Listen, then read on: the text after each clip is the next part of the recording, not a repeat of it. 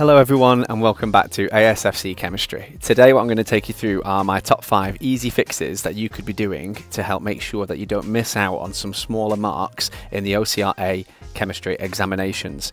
I'm using feedback that's on the 2019 examiner's highlights. It's available on the OCR website if you go to chemistry and it's absolutely brilliant for finding out what those little corrections are that you could be making to your work to help you improve overall.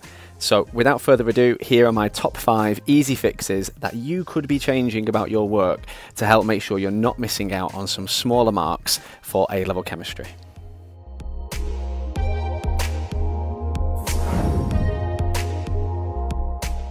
Okay, so in at number five, we've got showing a sign on your answer.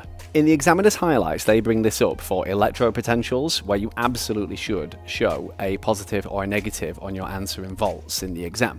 But also I've started to notice that it comes up in enthalpy change responses, even where it's endothermic. So my advice for you is whenever you get a calculation in the exam for an electrode potential, an enthalpy change or an entropy change, that you always put a sign on your answer just in case you feel like you might have missed it in the question, but also especially if it's a level of response.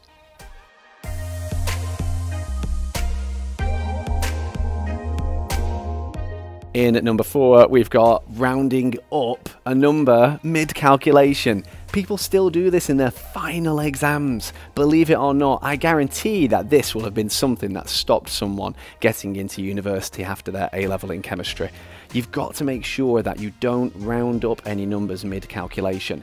If your final answer needs to be to three significant figures, as instructed by the question, and you're rounding up numbers to two significant figures midway, you aren't going to end up with the right answer. So you need to make sure you keep that number on your calculator screen. Yes, it will take you longer if you're showing all your working out, but you are far more likely to get the maximum credit for the question. So number four was making sure you don't round up any numbers mid-calculation.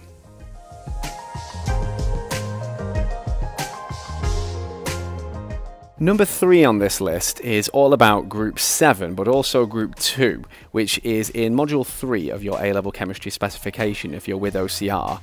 I personally find when I'm teaching this as well that people overlook this section of the spec, and it was nice to see in the examiner's highlights that they talk about the oxidizing power of the halogen and the reducing power of the halide as an area where candidates need to have a little bit more recall or insight into the trends that are taking place really don't overlook this section of the spec. You may be taught this around January, February time as part of your chemistry A level, and it is an area that I find that candidates don't really take as seriously as, say, enthalpy changes or curly arrow mechanisms.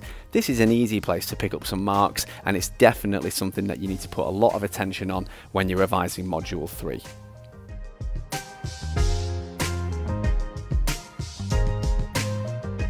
Okay, so the second most important thing you could be doing with regards to these easy fixes is all about the Kc and Kp expressions.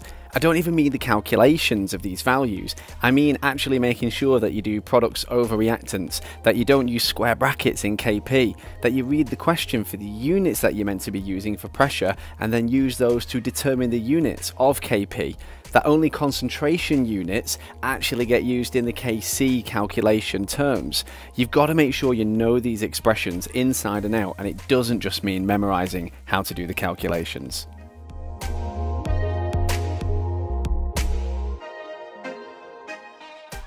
And finally, my top easy fix is all about self awareness, and it's self awareness with regards to presentation.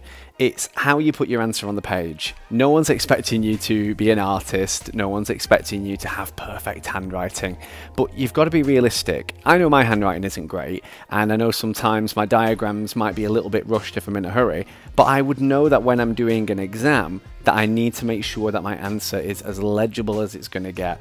And even if it means over exaggerating things like chemical formulae and state symbols, I have to make sure I do it that way. The other one I've noticed is diagrams. I looked at some exam board exemplar material recently and they critiqued a student for some disconnections at the wire and the metal electrode in an electrochemical cell diagram. That was done because potentially the diagram was done quite hastily and without precision. It goes hand in hand with this idea of making sure that your presentation is as clear as possible if you're not the tidiest of worker. And it's about being self aware of that. I'm not expecting you to suddenly fix your handwriting, I'm asking you to make reasonable adjustments to help you get that better grade. The other thing is, if you know you're not the crispest when it comes to wording or presentation, don't write too much for level of response questions. Try and keep it so that it's bullet pointed, that it's factual, and so it can be easily gone over by yourself or an examiner. So thanks for watching our video on the top 5 easy fixes you could be making to your chemistry A-level exam. Feel free to click the other videos on screen now or check the cards on this video for other videos relating to examiner comments. Until next time, happy revising.